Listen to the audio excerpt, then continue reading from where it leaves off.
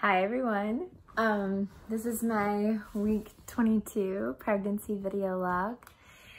Um, I can hear Wyatt singing out there right now, so you can probably hear it too.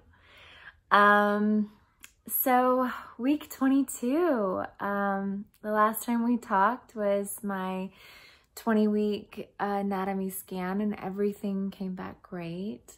Um, I was supposed to have my follow-up appointment this week, but we pushed it because um, there weren't any really big tests to do at this point, and it was more of like a check-in with the doctor and, um, you know, kind of one of those things where they like do your P test and check your blood pressure and and so um, my husband Eric made a really good point, and he was like is there a reason why you need to go in right now? I mean, we're in the middle of a pandemic. Like if we're just checking blood pressure and, you know, and if it's just kind of like a follow-up, what, why are we doing this? There's nothing major to go in for and, and be at risk. And so um, I called my doctor and I was like, do I need to come in right now? and, uh, and he was like, we can just talk on the phone. And so we had a conversation. He asked me how everything was going and if I felt good about everything. And we talked about the 20 week scan and um, how, you know, she's been doing great. And I was like, you know, I think I, I'm feeling so good right now just because I can feel her kicking. And so I kind of check in with that every day. And if I feel like I haven't felt her in a while, I'll kind of like lay down and be like, okay, baby, let's, let's kick. And, um, and so, you know, um, everything's been been going pretty good. Um, I had recently seen that somebody, um, you know, asked me to talk about uh, going to these appointments by myself. Um, I had to do, I've actually had to do pretty much all of my um, kind of bigger appointments alone um, because you know, you can't bring a partner and you can't bring your kids with you right now. Um, so they call you the day before and they're like, okay, make sure you wear a mask, have gloves. Um, you know, nobody can come with you to the office and uh, definitely can't bring any children. And so, you know, it's, it's weird. And I completely agree with it. I mean, totally understand. But at the same time, you know, it's, it's, um, it is different not having your partner there with you. Um, or for me, like, you know, I was very much used to bringing Wyatt along with me to all of Esme's appointments so that he could kind of connect with her. And I think I talked a lot about how um, I think that really helped him with his journey of becoming a big brother was that he saw so many of her ultrasounds and he established this relationship with my doctor and and he just felt very much a part of this journey. And so by the time she was here he was like I think he already felt like he knew her you know? He'd he'd been on this um this uh sort of path with her of um watching her grow in my belly. So you know it's it is um strange going there alone. Of course, my phone rang, so that got cut off. um, so I'm blending these together. Anyway, so um, yes, it is strange going there alone. Um, but it's just a different challenge. And now I'm um, just talking to my kids about the baby um, you know, in a different way. Instead of bringing them along with me to my appointments or having Eric with me at my appointments, I do videos at the appointments. Um, and then also every Sunday morning, my kids um, want to check the app to see how big is baby. And, um, you know, we make jokes like, oh, she's the size, she or he or whatever, but the, the baby is the size of, um, you know, a banana or a pomegranate or whatever it is. So, um, you know, I think that's another way where you can really keep them included and make them feel a part of it, um, is, is like that. So, um, so for now, until I don't know when, maybe all the way through.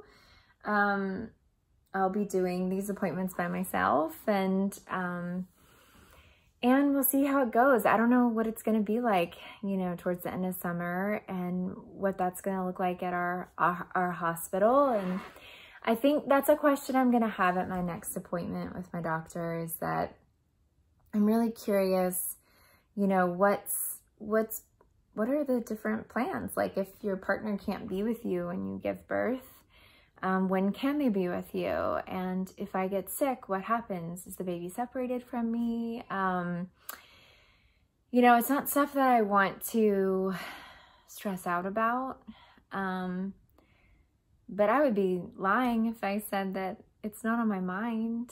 You know, um, I'm seeing, the, you know, this is the um, time in which you know, we've just announced our our pregnancy and I have people writing me saying like, are you scared and are you concerned? And um and the answer is there has been some fear around all of this. Um I think I'm definitely actively more thoughtful and careful about just not leaving. I don't go to the store or anything just because of being pregnant and wanting to protect the baby and my family and myself and um, just really, you know, what's your long-term goal and your short-term goal? And my long-term goal is that, um, that I'm,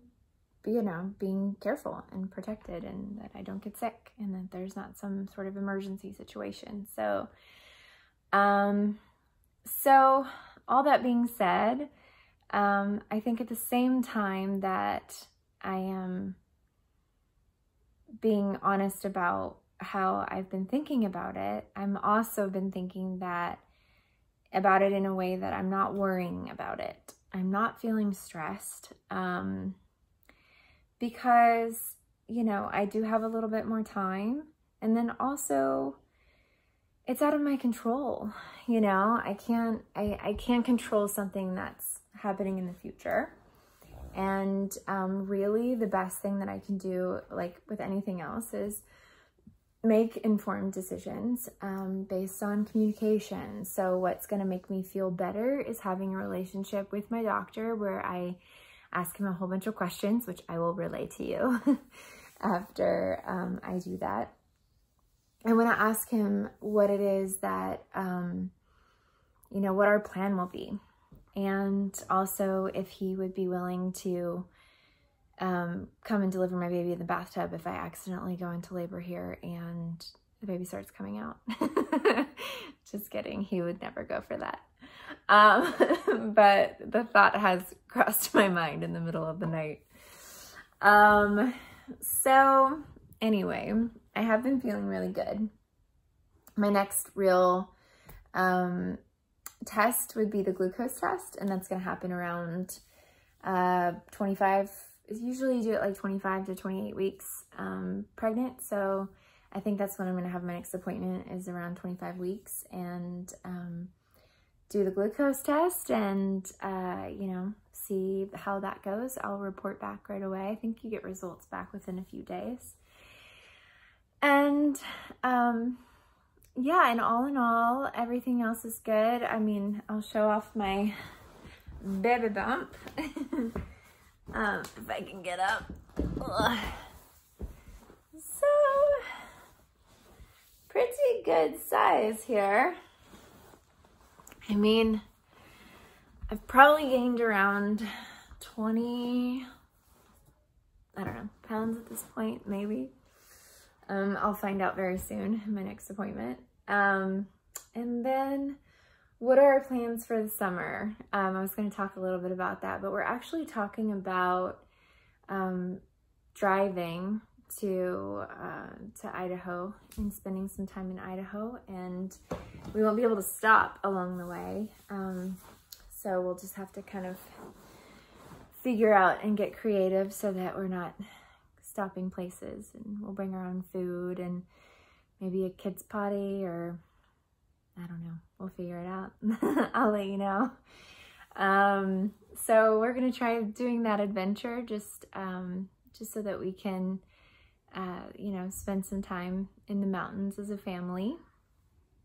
And um, yeah, I'll come back to you at uh, probably around 25 weeks pregnant so that we can um, have a talk after I see my doctor again.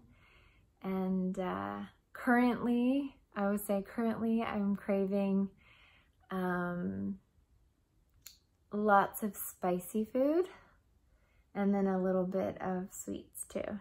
So, um, okay, that's it. See you soon.